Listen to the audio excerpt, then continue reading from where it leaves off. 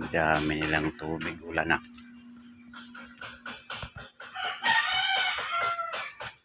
Kaya lang,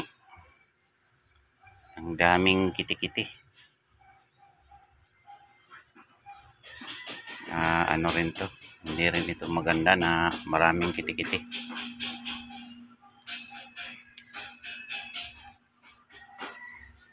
Oh, Tatay John. Bakit ka nakatungo ng ganyan?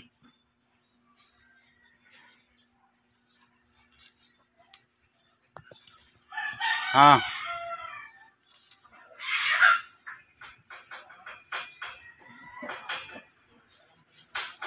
Ano, kumusta na Tatay John? Kumusta na? Wala.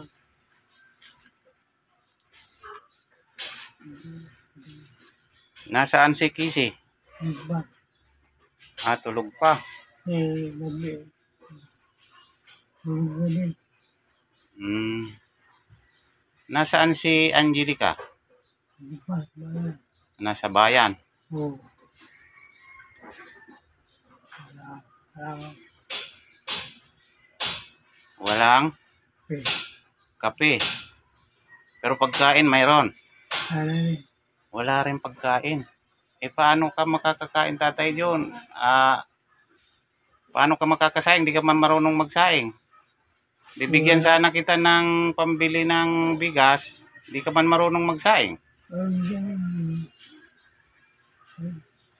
Paano kung wala si... Sino bang bibigay sa inyo ng pagkain? Si Angelica? Eh, Ng kanin? Eh paano wala siya? Paano kayo makakakain? Eh sino? Si eh, wala. kapitbahay? Wala. Wala. Sino ang nagbibigay sa inyo ng pagkain, tatay John, pag wala si Angelica?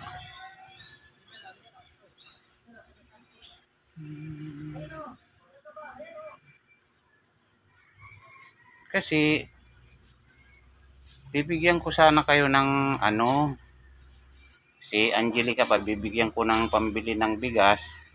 Kasi pag nagsaing si Angelica, binibigyan naman kayo. Ha?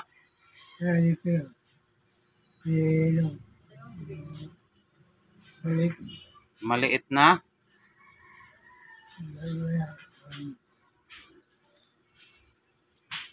Magbayang na.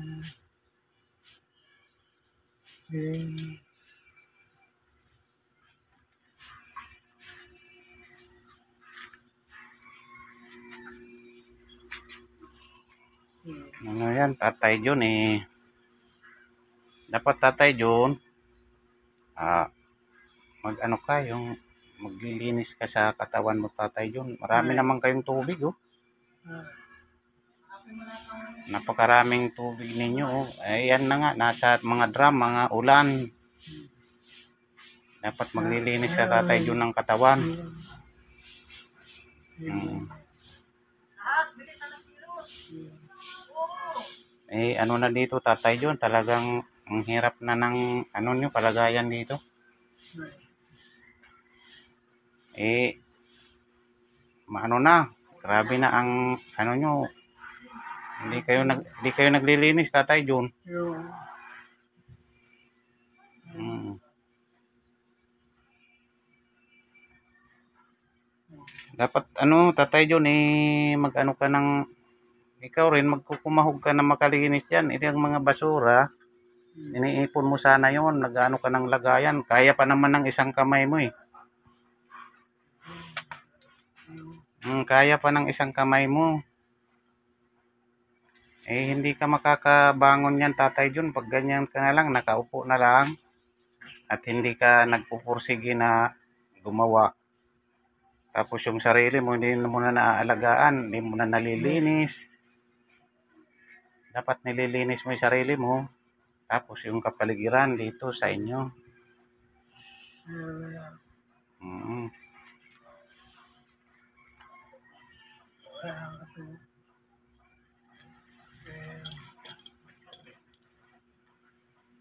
Yan ang gagawin mo, Tatay John. Kasi wala. Kita mo, ang dami na naman ng ano dyan.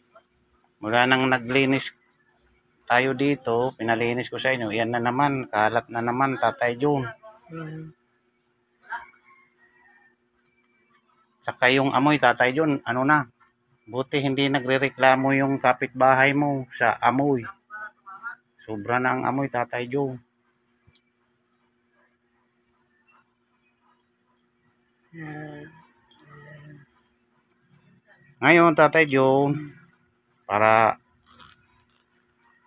maka kaya lang di ka rin marunong bumili ng kon malayo ang tindahan. Ah, bibigyan ko kayo ngayon ng pambili ng kuan hindi bigas kasi ang pabibilin ko ng bigas or groceries na maliit si Angelica. Oo si Angelica ang aanong ko pabibilin ko kasi di ka man, ma- man kayo marunong magsaing. Mm. Ngayon ito, ah, pag nakita ko si Angelica, yan, pa, anuhin ko ng bigas, ano.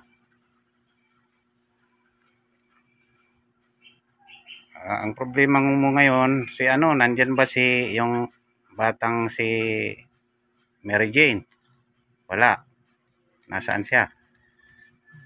Ah, Sino ang mauutusan mo ngayon? Ay si Kisi, hindi naman pwede. Kasi lumalayas. Ha?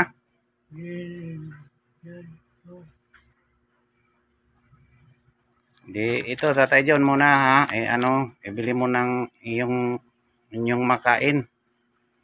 Ah, mag-utos ka na lang sa kung sino mautusan mo na bata. Hmm. Ngayon, pag nakita ko si Angelica, ah, pabibilhin ko ng bigas para bibigyan kayo ng ano, kanin pag nakakasaing. Ayan, Tatay John, mag ano ka? Mag ano ka naman kasi hindi na lang ganun na ka na lang. Umano ka yung Ayan, maglinis ka sa katawan, maglinis kayo dito oh. Tatay John, tulungan mo si Kisi. Ah, kaya mo na pa naman eh. Kasi malakas pa naman yung isa mong kamay.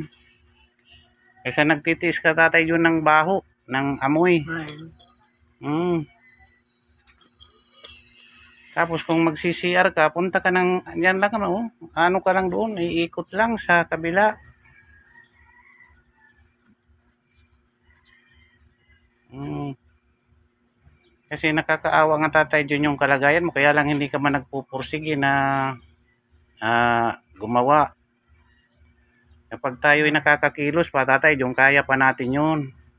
Kung hindi na talaga tayo nakakakilos, hindi na natin kaya yun. Ikaw, malakas pa naman ang isang mong kamay tapos nakakapaglakad ka pa kahit ah, dahan-dahan. Kakayanin mo, i-ano mo sa mindset mo, sa ah, isip mo ba na ah, kaya mong gawin. Hindi kay hindi. Yan ang maganda tatay John kaysa ganito oh.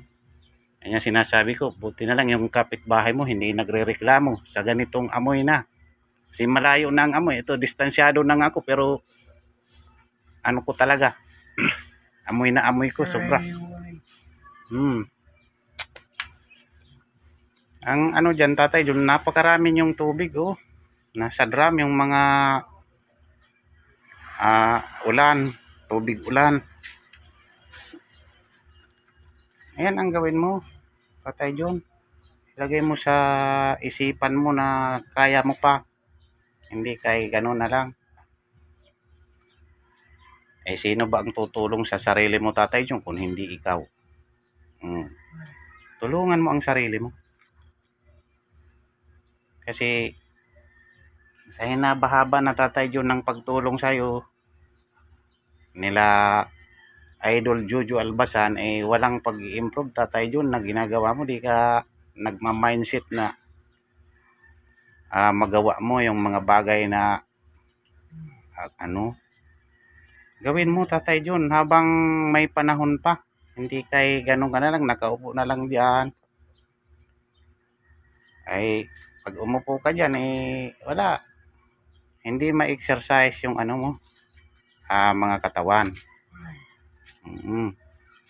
Ang ano dyan, ito, pagdating ng ganitong araw, eh kung ano-ano dyan na pwede mong gawin, ito, mag ano dyan, ligpit ng mga yan, oh. ang daming Kaya, naka ano.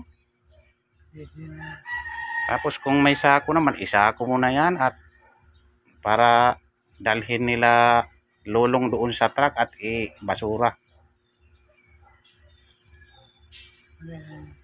Yan, Tatay John, huwag mong ugaliin na ano, yung ganyan ka na lang. Kahit makapaglinis ng katawan mo, kita ko naman yung, oh, yung ano mo. Pati mga paa mo, may mga, ano na, Tatay John, ibak na. Grabe.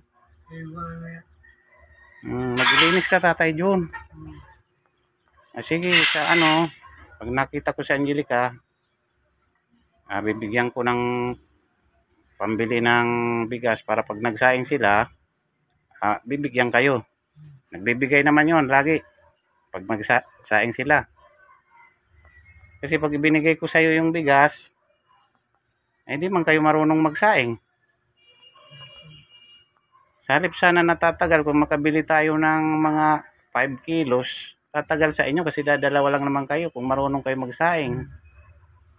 Dapat marunong ka tatay Jun magsaing kasi siyempre matanda ka na. Alam mo talaga yun kung nagsisikap ka na magsaing. Para pag may bigas, ikaw na lang ang magsasaing. Kaya mo pa naman kasi yung kamay mo. Gumagalaw pa naman yung isa eh. Kahit nga yung isa medyo nakakaano pa. Nakakagalaw naman eh. Hmm. Tapos kung kuan, ito, ito, mga gatong-gatong, kasi wala mang kayong kalan, pwede mo naman utusan si Kisi na o kuha ka gatong doon, maghanap ka ng mga eh, ano natin dito.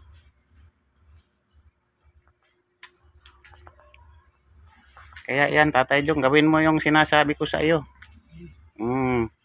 Maglinis ka, maligo ka, hindi ka na nga yata naliligo, Tatay Jong. Ang dami-dami yung tubig, oh. Yan, oh. Ang daming tubig. Tubig ulan, oh. Kahit ito, okay yan. Nakakalinis yan ng katawan. Kahit na ulan yan. Hmm.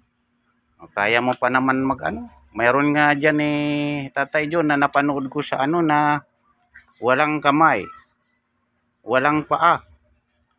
Pero kayang-kaya niya magtrabaho, Tatay John naka parang ano kung may signal lang ako ngayon eh papakita ko sa iyo yung video para maniwala ka na yan wala nang ang kamay. Ikaw pa kaya tatay Jun na may kamay ka? Kaya mong gawin. Mm, yan ang sinasabi. Kasi kung lagi na lang tayo tatay Jun aasa sa tulad sa amin eh masama yon tatay Jun. Hindi ka nakakag-isip doon ng ah, para sa susunod sa kinabukasan ang tulong ay isang ano lang, isang bahagi lang ng buhay yan yan, kasi tinulungan ka nga kasi nakita kang tuan. Pero kung hindi mo naman pinapahalagahan yung tulong, parang nandiyan ka na lang, di, wala kang interest na yung umano ba, umimprove yung buhay, eh yan, nagsasawa yung mga tumutulong. Patay yun. Yan ang ah, sinasabi ko sa iyo. Kaya mag-isip ka, mag-mindset ka sa sinasabi ko na gawin mo yung mga bagay na kaya mo pa namang gawin. Di ba, Tatay John? Tama ako. Ayan. Gawin mo, Tatay John. Ah, sige, Tatay John, hindi na ako magtatagal. Eh, marami pa akong mga dapat puntahan, ano? Pero pag nakita ko si Angelica, ayan, magbibigay ako doon sa kanya ng para pag nagsaing sila, bibigyan kayo. Siyempre, kawawa naman kayo. Ah, kahit doon sa mga ano na yan, malaking bagay na yun. Pero huwag tayong aasa doon sa sponsor na lang ng sponsor. Kailangan mag-isip tayo, paano ko gagawin itong buhay ko na ito. Kasi yan yung sinabi ko sa iyo kanina, napanood ko, walang kamay, walang paa. Pero, ano pa, kayang-kaya pa niya. Nagtatanim pa nga eh. Oo, nagtatanim ng mga pananim. Oo. Pero sa ano yung nakatira sila sa bundok. Kahit nga maglakad eh, ang bilis niya maglakad kahit walang paa. Hanggang dito tatay John sa may hita yung wala siyang talagang paa. Pero kaya niya umano, yung oh, lumakad ng mabilis. Ah, sige tatay John ha. Huwag ka lang mauupin sa sinabi ko. Ano lang naman, kahit matanda ka, ah, pinangangaralan kita para maitanim sa utak mo na hindi na lang ganun. Ano, Tatay John? Ah, pasensya ka na, huwag kang mauupin. Sige, kung ano ka dyan, eh, maglinis ka, Tatay John. Yan, maraming salamat po, ah, Ma'am J ng Middle East ah, sa iyong pagpapaabot dito kay Tatay John ng kanilang mm, tulong din. Ah, hindi ko pa ibinigay lahat. Ah, bibigay ko ito pag ano nakita ko si Angelica. Yan, thank you so much po. Ah, Ma'am G ng Middle East. Salamat po ng marami. Ito, nandito tayo kay Tatay John. Ah, si Casey naman ay tulog na tulog pa. Ayan, maraming salamat. Yan, Tatay John, anong masasabi mo na binisita kita ngayon? Anong sina anong masasabi mo na binisita kita ngayon? Salamat o hindi salamat? Salamat. Ayan. Kasi magpapasalamat ka tatay John kasi binisita nga kita. Kahit sa papano, binisita kita. Kasi siyempre, ah, ano naman ako eh, ah, para maturuan kayo dito ng mga dapat gawin tatay John. Ano?